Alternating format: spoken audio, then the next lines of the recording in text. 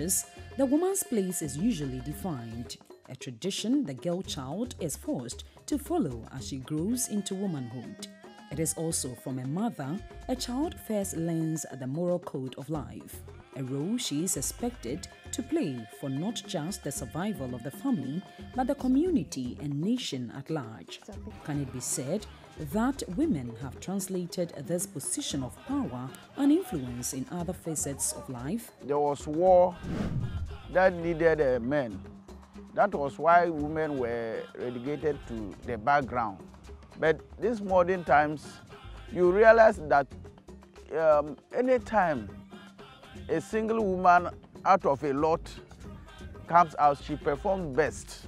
At a point in time when we got to a certain house, we were talking to the woman. The husband came out and seriously told us that he wouldn't want the wife to take part in any election. He wouldn't want the woman to take part in any election because there's a lot of work for her to do and she wouldn't have time for that kind of thing.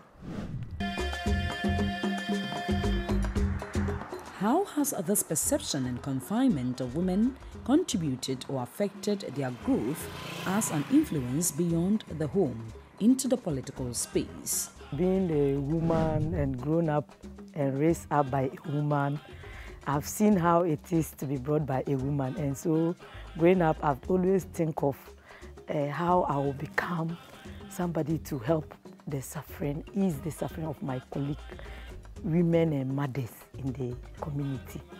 People would say that that is a very difficult task, it's for men. And I say no, there is nothing like this is for men and this is for women. Uh, whatever you aspire as a woman to be, you can and you will be able to do it when you give it time and good planning.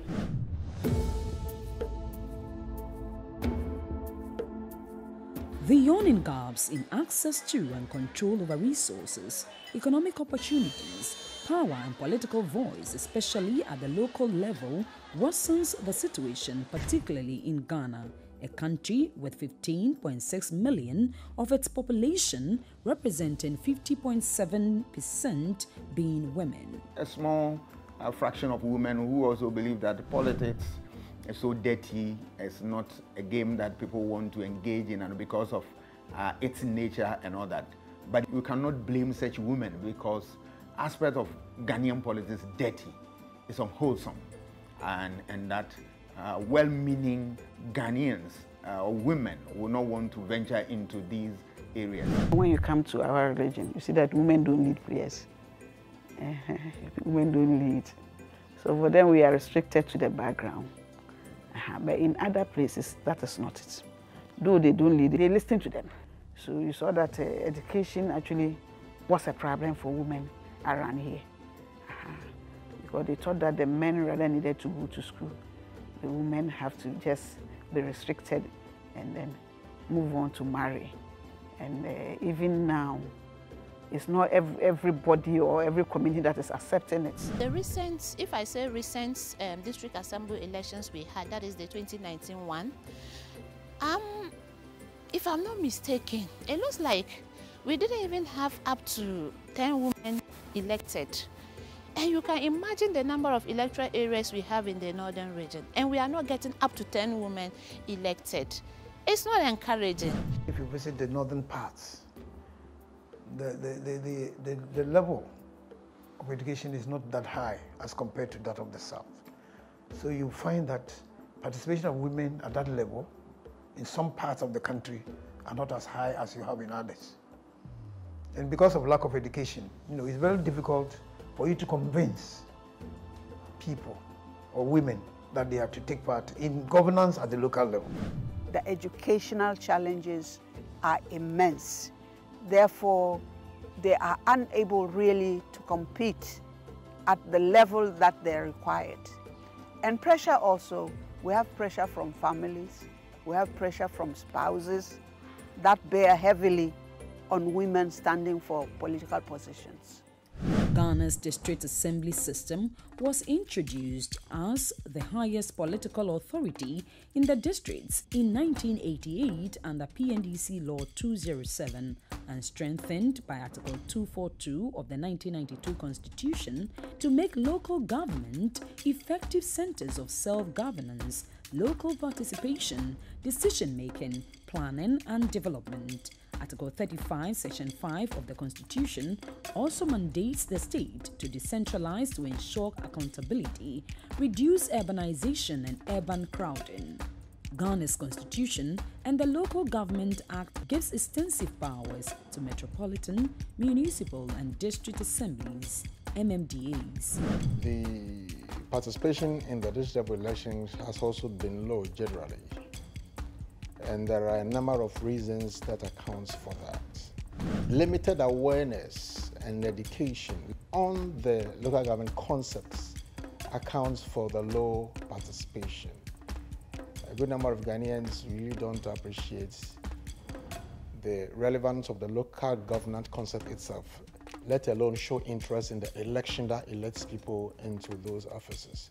Another reason is also perception of insignificance the part of the local governance system, uh, comparing that to the general election, people think the system, the local government system is less significant compared to the general election, and so the interest there is not too high as compared to the general election. At the general election, because the parties are involved, the, the, the noise around getting out the vote is louder because they whip up the enthusiasm and push their supporters to go to the polls. It helps.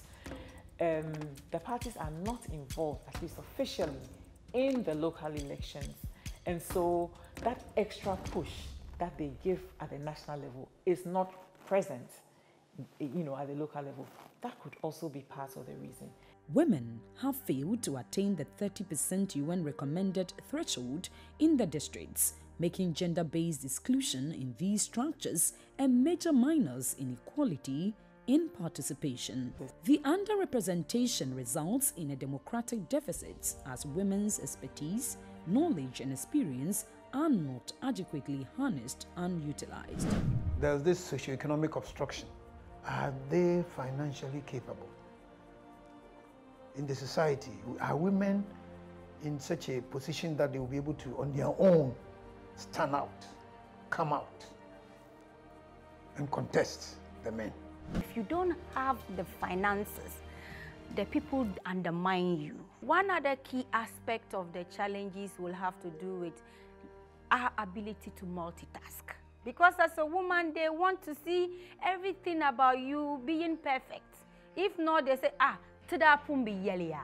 Didn't we, didn't we say a woman cannot be an MC because they are looking for you at an odd hour and you are nowhere to be found, they have to call on you. You have to be on their beck and call. Whether it's midnight, whether it's early morning, whether it's day, you know. So if you cannot multitask as a woman, it becomes difficult for you to lead. I being the desk officer for the West Gonja Municipal Assembly, maybe I have a wretched motorbike, which I ride. I want to go around. I don't have fuel because our common fund itself is not common. So how do I go? You go to a radio station, you want to make noise, they say you should pay something. Where am I going to get the something to pay? Ghana has signed on to and ratified all major international protocols that support the promotion of women's rights and their active participation in decision making. Among them are the 1981 Commission for the Elimination of All Forms of Discrimination Against Women, the Beijing Platform for Action in 1995, the Solemn Declaration on Gender Equality 2004, and the ECOWAS Protocol on Good Governance and Democracy 2002. The Global Agenda 2030 maintains that in fulfilling the promises of sustainability, peace, and human progress, gender equality is fundamental.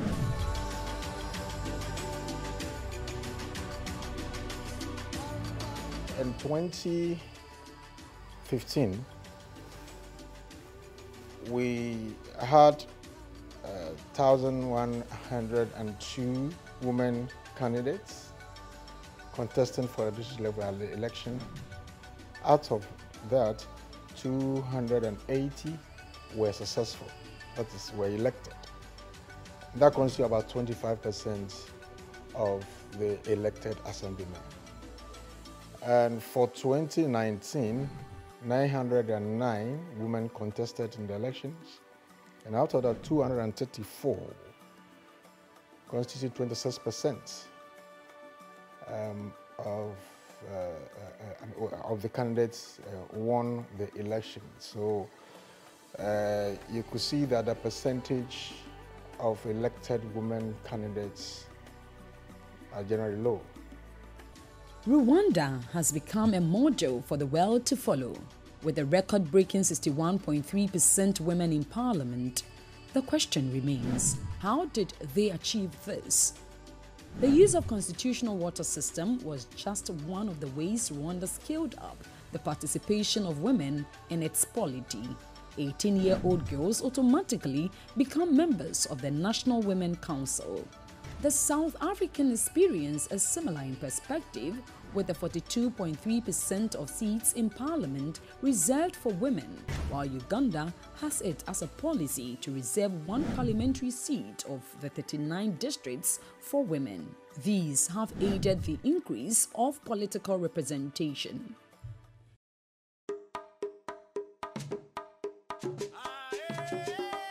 Ghana's Electoral Commission has once again changed its October 30 date for this year's district assembly elections to December 19.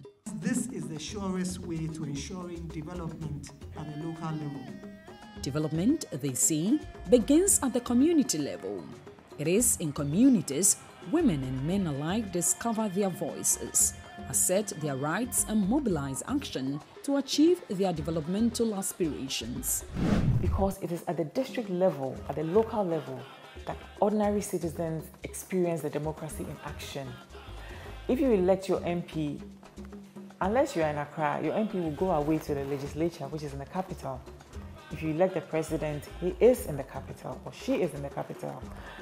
But if you get to elect your, your, the head of your local government, they sit in the community with you, right? And they have to respond to your needs and they have to be accountable to you in the ways in which we hold the MPs accountable. Because that's, that, that doesn't happen, there's a bit of lack of interest, but it, it's a missed opportunity. With the 2024 general election very close, the time might just be right for those little changes to begin. Need more education, and until the affirmative bill is put in place, we will still have some of this problem because you can't do the education alone. But when it becomes an issue of uh, a, a percentage is assigned or awarded, that this is the percentage we want uh, women to be in our uh, in our assembly, this percentage is reserved for them. It means it sort of create opportunity. I happened to be uh, meet a Kenyan friend who told me that in their parliament, for instance, they have this particular appointment for women. You understand? Uh-huh. So until we start also doing something, so the women are many. Certain positions are reserved for them. I know a lot have been done. A lot have been done in the past by civil service organizations and NGOs. But why is it that instead of increasing and gaining, we are rather declining? The best ever we've had as Ghanaians was in 2006, where we had 10.1% as female assembly members. And since then, it has been 4, 7%, it has been 6%, it has been 4%, and this particular current one is the worst ever, less than 4%. What is happening? So me, I am, I am afraid for us as a country.